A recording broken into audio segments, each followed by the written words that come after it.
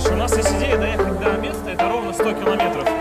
На эти 100 километров нам понадобится 60 литров бензина. ЗИЛ – это дорого.